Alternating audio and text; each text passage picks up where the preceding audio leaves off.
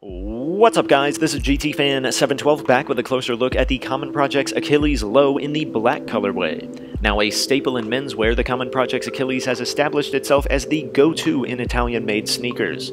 Featuring Common Project's iconic gold-stamped serial number, this all-black Achilles Low retails at $400 and is now a regular offering in each Common Projects season.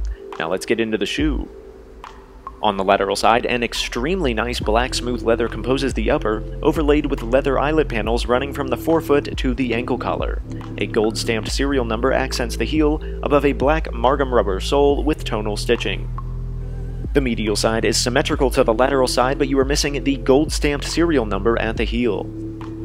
At the back of the shoe, black leather composes a minimal ankle tab, above a black leather upper split by a seam running up the center of the shoe, on the top a black Margom rubber sole. At the top of the shoe, black smooth leather composes the toe box.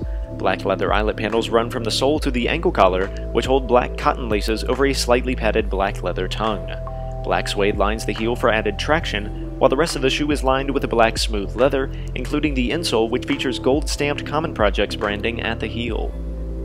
The standard Margom rubber outsole is executed in black.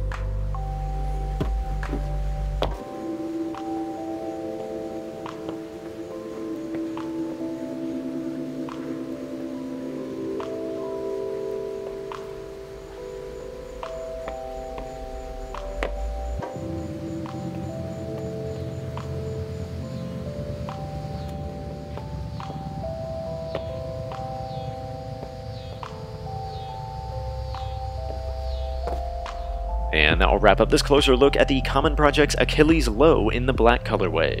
Although the retail price is rather high at $400, the quality of the materials and construction make this shoe well worth the asking price. Lower cost alternatives are available, most notably the Adidas Stan Smith at less than 25% of the cost, but if you front the premium price tag, you receive a truly premium product in return. For sizing, I recommend going down at least a full size from your standard size in athletic footwear. I'm normally a US size 8, which translates to a European 41, and this is a European 39, providing a snug but comfortable fit. If you'd like to check out my closer look at the white colorway of the Achilles low, just click on the annotation on screen now.